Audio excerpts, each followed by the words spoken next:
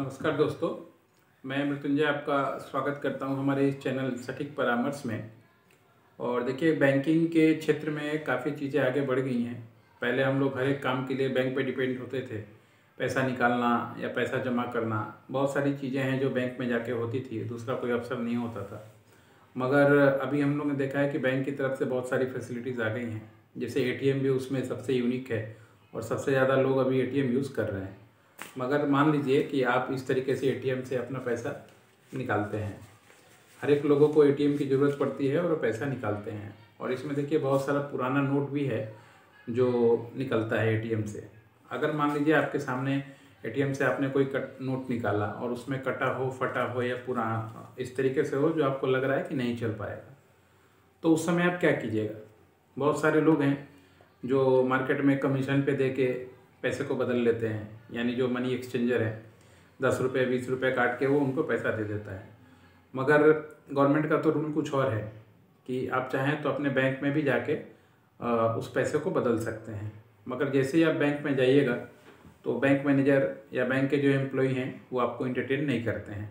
Maximum case में होता है कि वो मना कर देते हैं कि अभी हमें बहुत काम है, अभी हम ये काम को नहीं कर सकते, आप कल आइए, परसों आइए, जानबूझ के ऐसे आपको टालते रहते हैं।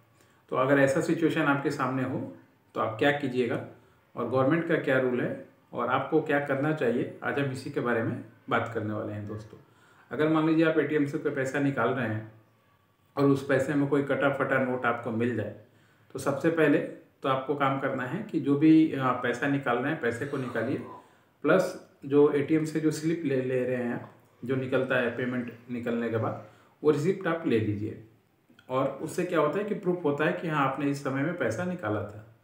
और अगर मान लीजिए आपको बाई डिफ़ॉल्ट स्लिप नहीं निकला तो मैसेज आपके मोबाइल नंबर पे आता है कि आपने अभी इतना पैसा निकाला। तो मैसेज को रखिए और मैसेज को डिलीट मत कीजिए। और वो एटीएम जिस भी बैंक से लिंक है, यानी हर एक एटीएम किसी न किसी बैंक से लिंक होता है नियरेस्ट बैंक से। जैसे मान लीजिए आई का है तो आई से रहेगा। SBI का है तो SBI से रहेगा, वो लिंक रहता ही रहता है। और उसके बाद आप नेक्स्ट डे बैंक में जाके एक एप्लीकेशन लिख सकते हैं कि आपने ये टाइम में ये एटीएम से ये पैसा निकाला, ये इसका स्लिप है और आप चाहते हैं कि वो पैसे को एक्सचेंज करें, बदल लें।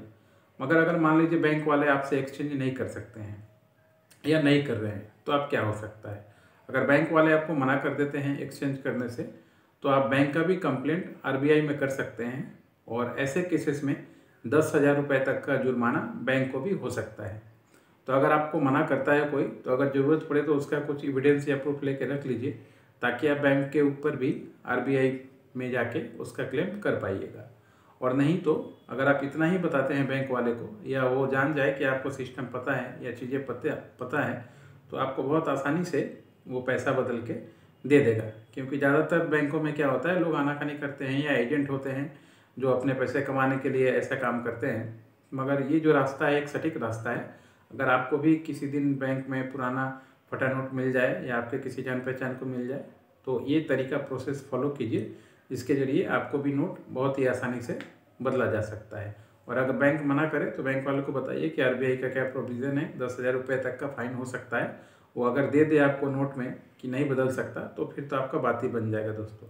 तो ये तरीका है एटीएम से, अगर आपके पास कटा फटा पुराना नोट निकलता है चेंज करने का। ऐसे ही हम बैंकिंग के क्षेत्र में और गवर्नमेंट के क्षेत्र में या ऐसी कुछ इन्फॉर्मेशन जो पब्लिक के लिए है, आपके लिए है बिज़नेस के साथ साथ ऐसी चीज़ों को भी लाते रहेंगे, ताकि आपको इन्फॉर्मेशन मिलते रहे कि कौन से सिचुएशन में क्या करना चाहिए, नहीं करना चाहिए, और आपको एग्जैक्ट पता हो।